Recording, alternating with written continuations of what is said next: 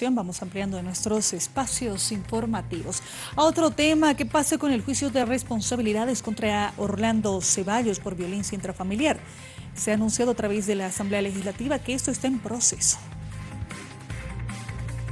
Se ha excusado la presidenta de la Comisión de Justicia lo que corresponde es asumir el primer secretario de la, de la comisión. Eh, en este caso ya ha asumido entiendo yo de que ya se ha remitido al Ministerio Público, a la Comisión del Ministerio Público. Esa es la que hace la investigación en sí. El comité.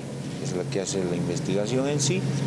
Seguramente en el transcurso de estos días, eh, en el ejercicio al derecho de la defensa material, se le notificará al magistrado para que preste su declaración informativa, si así lo desea o no, y a partir de eso se recibirá pruebas de cargo y de descargo para que en un plazo razonable el comité pueda emitir su requerimiento conclusivo para establecer si existen suficientes fundamentos, indicios para acusar o, o sobreseer. ¿No hay lentitud en el procedimiento? No, no, recién ha transcurrido algunos días desde la presentación de la denuncia, entonces estamos en plazo previsto. Por tanto,